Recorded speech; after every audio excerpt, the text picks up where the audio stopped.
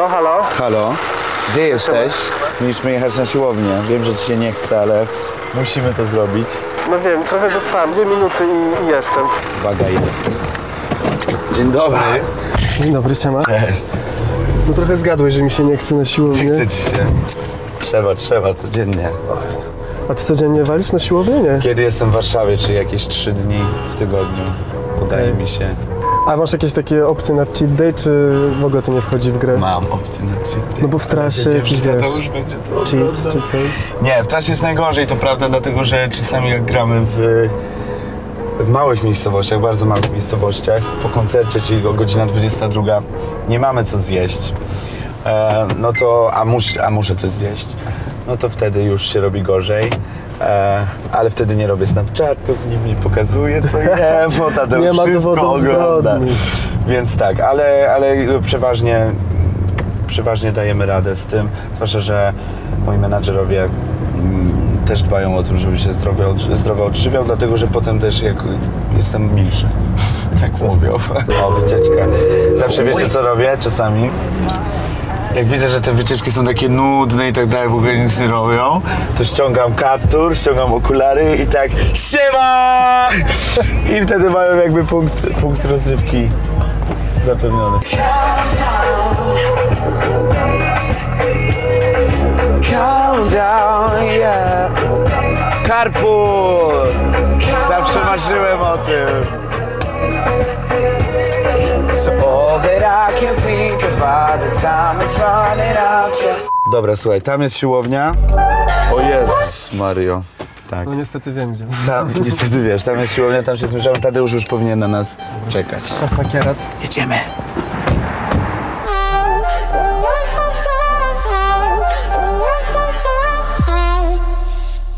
Muszę wołać swojego trenera w ogóle. Chodź, Tadeusz, zróbmy ćwiczenia.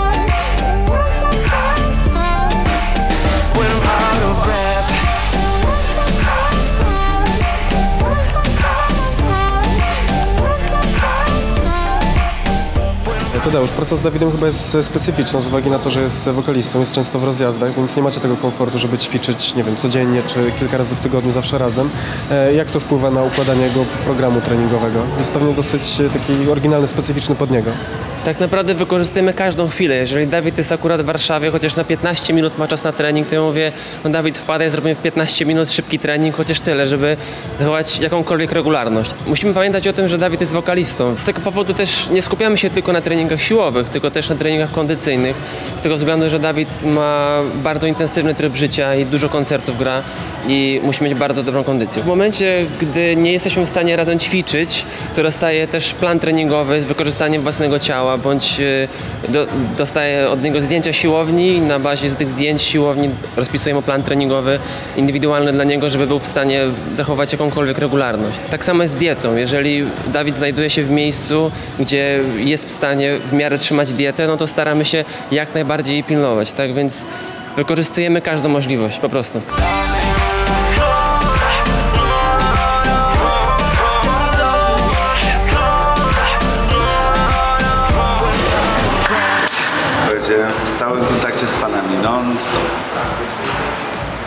Siłownia, śpiew, koncerty, cały czas z nimi.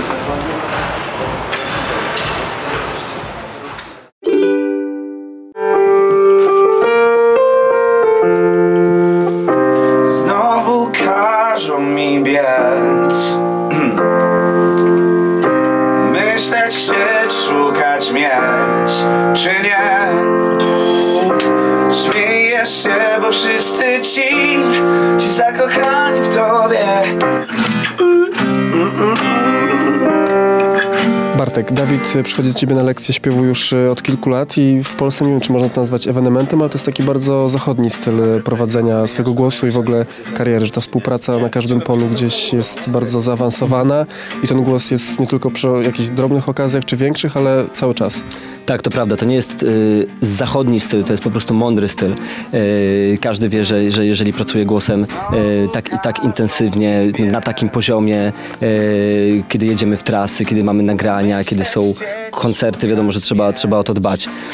Yy, Ja się bardzo, bardzo cieszę, że coraz wię- większa ilość gwiazd i Dawid jest właśnie takim przykładem na to, że, że żeby, żeby dbać o głos, żeby ciągle go trenować, tak samo jak yy, dba się o jego ciało, tak samo dba się o jego głos. To jest super, no to jest, to jest sport. Dopóki nie wyjdziesz na scenę, tak naprawdę jesteś sportowcem tego tematu. To jest coś, co jest, jest ukryte w twoim ciele, więc jest bardzo podatne na, na wszystko, co jest z tym związane, więc musi być zdrowe. Nowa zacząć żyć, głos. Każdy mały sen znowu cienka nić. Może da mi sił. Dawid jest bardzo młodym wokalistą i ta praca nad jego głosem, powiedz, y, są jeszcze perspektywy, żeby go dalej ulepszać. To, co teraz słyszymy, to jeszcze nie jest y, koniec jego możliwości. Jasne. Mogę mówić na temat głosu, mogę mówić na temat Dawida, to się łączy. Na temat, na temat głosu jest tak, że to się nigdy nie kończy. Praca nad głosem się nigdy nie kończy. Celine Dion ma wciąż swojego trenera, wciąż chodzi na lekcje śpiewu, wciąż wie, co musi zrobić, żeby zabrzmieć tak. Y, mm, jak, jak, jak najlepiej, tak jak ona wie, że może zabrzmieć. Tak samo jest z Dawidem właśnie. On wie dokładnie, jakie są jego możliwości, wie, co jeszcze może zrobić. Yy, Stawiamy sobie wysokie cele, jeśli chodzi o pracę z jego, z jego głosem. I tak jak na temat głosu można poruszyć ten temat, tak możemy wrócić na temat Dawida. To jest artysta, który sobie świetnie wyznacza swoje cele, wiesz? Na przykład sobie stawia taką pineskę, w sensie chce być tu i dąży do tego miejsca. I to nie jest dla niego cel, ponieważ to jest jakby osiągnięcie tego, co chce zrobić, po czym znowu sobie wyznacza kolejną pineskę, kolejną pineskę, kolejną, kolejną i tak dalej. Ym, dlatego to się nigdy nie kończy. Ten rozwój się nie kończy. Dopóki są fani, dopóki jest odbiór taki, jaki jest, to super.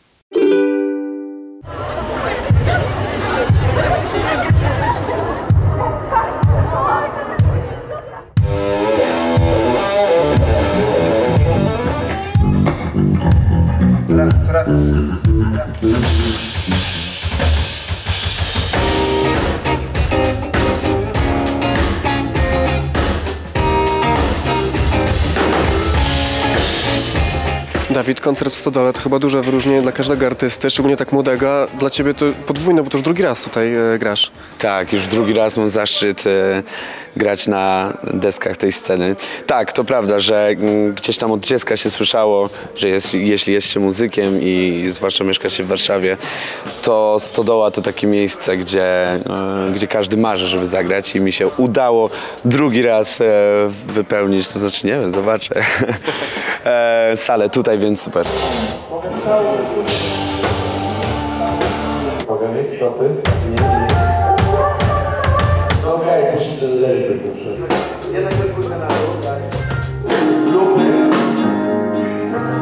Mi się podobało to, że jesteś taki, wiesz, e, zadaniowy, że tutaj e, lupy głośniej, e, perkusja ciszej. To jest taki stały element przed każdym koncertem, że jednak to trzeba wszystko nagrać. Tak, staramy się, zwłaszcza dzisiaj, kiedy kończymy trasę koncertową, wszystko naprawdę musi być dopięte na ostatni guzik. Czasami jak coś się wywali i, i nie jest tak, jak być powinno, każdy i tak jest na tej scenie profesjonalistą i da radę, ale po co? Lepiej czuć się bezpiecznie i mieć wszystko zapięte na ostatni guzik. Dlatego... E, o dziwo wszedł we mnie na próbę taki troch, troszeczkę dyrygent i dyktator, e, gdzie kompletnie leży to poza, poza moją naturą, ale jednak e, tutaj trzeba wszystkie, wszystkiego dopilnować, tak. Ta trasa mam wrażenie też jest takim e, chyba większym wyzwaniem niż zwykle, bo musisz połączyć ten nowy repertuar, który jest e, totalnie klubowy, e, z tym brzmieniem e, live. I ile trwały przygotowania, żeby to wszystko tak zebrać, żeby brzmiało tak płynnie? Wiesz co, w ogóle kompletowałem nowy skład i e, w sumie ze star- starego składu został tylko, jeśli chodzi o instrumentalistów, to mój e, klawiszowiec Jędrzej, więc to już w ogóle było podwójne zadanie. Dobieraliśmy muzyków tak, żeby czuli się dobrze w tym, co będą grać teraz na scenie. Więc myślę, że około dwóch miesięcy cała, cała trasa powstaje, jeśli chodzi o, o, mu, o muzyczne aranże, a cała reszta, jak widzisz, światła, e, tło, mm, stylizację i wszystko, wszystko inne, dymy, wyrzutnie, jakieś ognia i, i tak dalej. E, to gdzieś tam swoją drogą szło w parze z tym, co robiliśmy muzycznie.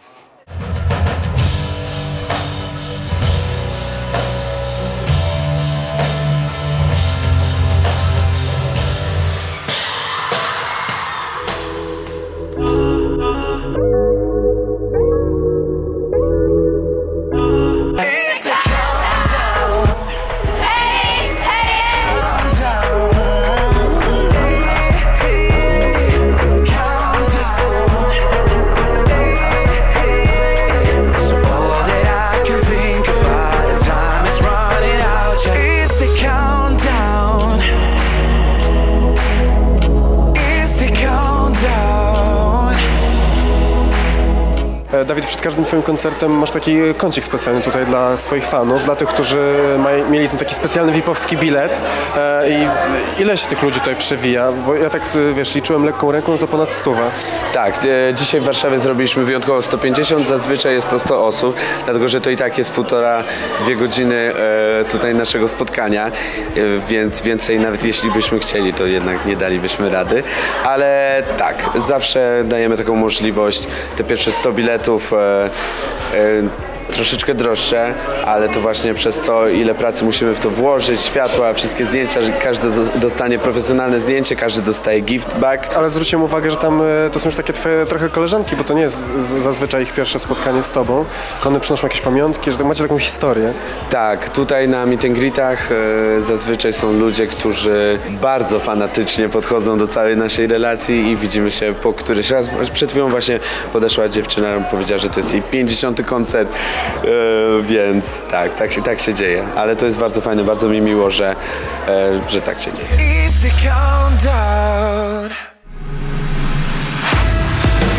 Everybody's spending lives saying we're gonna lose the fight. Dobra, Dawid, słuchaj, 5 minut do koncertu i jakie emocje targają tak tuż przed wejściem na scenę? Wiesz co, tutaj w Warszawie jest inaczej. Jak nie miewam stresu nigdy, to w Warszawie zawsze się stresuję, dlatego że jednak e, jest bardzo dużo znajomych, bardzo dużo dziennikarzy, e, więc os, e, bardzo mi zależy, żeby, żeby to wyszło perfekcyjnie. Jak zawsze robię wszystko na 100%, tutaj w Warszawie robię na 150%. Ja na scenie jestem totalnie innym człowiekiem niż teraz z wami rozmawiam i pewnie zobaczycie to, widać to po moich ruchach, po tym w ogóle jak śpiewam. Totalnie jestem inaczej. Tu jeszcze jestem spokojny, potem wszystko e, się zmienia. To jest to co, to, co kocham, a myślę, że takie rzeczy, które kochasz, jarają cię do końca.